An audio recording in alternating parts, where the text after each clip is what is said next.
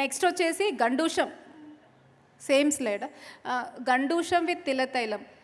I wash చేసుకున్న తర్వాత అందరూ కూడా పళ్ళు తోముకోవడం అనేది కామనే కానీ ఒకప్పుడు మనందరం కూడా నువ్వుల నూనె లేదా ఏదైనా నూనెని నోట్లో ఉంచుకొని నో నోట్లో ఉంచుకొని గండూషం అంటారు. అంటే ఆయిల్ని కొంచెం సేపు వరకు నోట్లో ఉంచుకోవడాన్ని ఆ, స్పెసిఫిక్ పద్ధతిని గండూషం అంటారు. ఇది చేయడం వల్ల ఆ నువ్వుల నూనె మనం నోట్లో పెట్టుకోవడం వల్ల కంటి నరాలు ముక్కు చెవులు వీటన్నిటికీ అంటే పంచ జ్ఞానేంద్రియాలకి కావలసినటువంటి సర్క్యులేషన్ అనేది ఒక టైప్ ఆఫ్ ఫేషియల్ ఎక్సర్సైజ్ జరుగుతుంది అనమాట సో అందుకని రెగ్యులర్గా మీరు కూడా వీలుంటే కొంచెం నువ్వుల నూనె ఒక ఫైవ్ మినిట్స్ నోట్ మొహం కడుక్కున్న తర్వాత గోరువెచ్చటి నువ్వుల నూనె నోట్లో పోసుకొని ఒక ఫైవ్ మినిట్స్ పుక్కిలిస్తూ ఉంచి ఆ తర్వాత ఊసేసి వాష్ చేసుకుంటే కళ్ళు ముక్కు చెవులు అన్ని సర్వేంద్రియాలు కూడా ఆ హెల్దీగా ఉంటాయి అండ్ దంతాలు స్ట్రాంగ్గా ఉంటాయి చిగుర్లు కూడా స్ట్రాంగ్గా ఉంటాయి.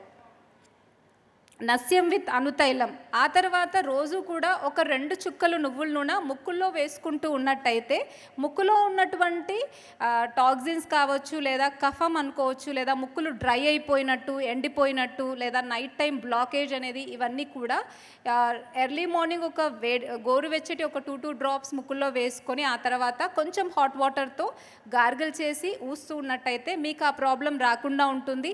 అండ్ చాలా వరకు ఈ డస్ట్ ఎలర్జీస్ కావచ్చు కాఫ్ కోల్డ్ కావచ్చు ఇవన్నీ కూడా ఎక్కువగా రాకుండా ఇమ్యూనిటీ కూడా చాలా బాగా ఉంటుంది. అండ్ అప్పర్ రెస్పిరేటరీ ట్రాక్ట్ అంటాం. అంటే మనకి ముక్కు ఎడినాయిడ్స్ టాన్సిల్స్ ఇదంతా కూడా uh, వీటికి సంబంధించినటువంటి ఎటువంటి ప్రాబ్లమ్స్ కూడా రాకుండా ఉంటాయి. అండ్ అన్ని ఇంద్రియాలు అంటే కళ్ళు చెవులు ముక్కు అండ్ మనకి uh, నాలుకకి టేస్ట్ తెలుసుకునే సెన్స్ ఇవన్నీ కూడా పర్ఫెక్ట్గా మెయింటైన్ అవుతాయి. రోజు మీరు ఇలా రెండు చుక్కలు ముక్కులో డ్రాప్స్ వేసుకోవడం వల్ల సర్వేంద్రియాలు కూడా స్ట్రాంగ్గా అవుతాయి. సో ఈ చిన్న టిప్ని మీరు కూడా పాటిస్తూ మీ కళ్ళని ఎప్పటికీ కూడా హెల్దీగా ఉంచుకోవచ్చు.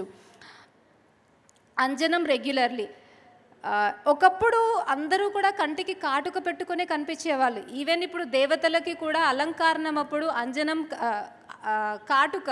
కాటుక అనేది కంపల్సరీ పెడుతూ ఉంటారు. అంత ప్రాముఖ్యత. అంటే మనం దేవతలకి కూడా అలంకరణలో కాటుక తప్పనిసరిగా పెట్టాలి అంటాం.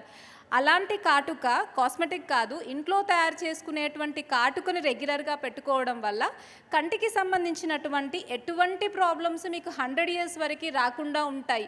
ఒకప్పుడు మన వాళ్ళందరూ కూడా మన అమ్మమ్మలు తాతమ్మలు వాళ్ళందరూ కూడా రోజు కాటుక పెట్టుకునే వాళ్ళు రోజు నెత్తికి ఆయిల్ పెట్టుకునే వాళ్ళు అండ్ రోజు కూడా కొన్ని రకాల బంకమన్ను అండ్ కుంకుడుకాయ అండ్ సీకాకాయ ఇట్లాంటి హెయిర్ వాషెస్ చేసుకునే వాళ్ళు. వీటి వల్ల వాళ్ళకి కంటికి సంబంధించి సంబంధించినటువంటి ఈ దురద అండ్ ఎలర్జీస్ కంటి చూపు తగ్గిపోవడం లాంటి ప్రాబ్లమ్స్ రాకుండా వాళ్ళు రోజువారీ జీవితంలో చేసే ఆ చిన్న చిన్న కొన్ని పనులు అనేవి వాళ్ళ కంటిని ఎప్పటికీ ఆరోగ్యంగా ఉంచేవి.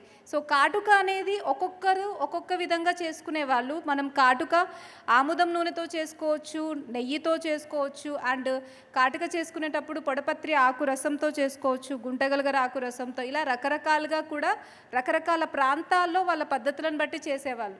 కానీ ఏ కాటుకైనా మనం ఇంట్లో చేసుకునేటువంటి మెడికల్ నార్మల్గా ఔషధాలతో చేసుకునేటువంటి కాటుక కంటి చూపుని ఎప్పటికీ పోకుండా సమర్థవంతంగా ఉంచడానికి హెల్ప్ అవుతుంది. సో మీరు కూడా రెగ్యులర్గా తయారు చేసినటువంటి కాటుకను పెట్టుకుంటూ ఉన్నట్టయితే కంటికి సంబంధించినటువంటి ఇప్పుడు కామనే అండి అని చెప్పేటువంటి క్యాట్రాక్ట్ కావచ్చు ఒక ఏజ్ వచ్చిన తర్వాత నరాలు వీక్ అవడం కావచ్చు డీజనరేషన్ ప్రాబ్లమ్స్ కావచ్చు చాలా వరకు రాకుండా ఉంటాయి.